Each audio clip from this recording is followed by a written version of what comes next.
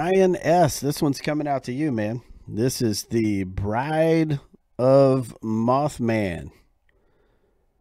Right here. This is awesome, especially in person. I, I wish we could get these colors to to really show up on this camera, but I can't even tell you how awesome this one is uh, in person here.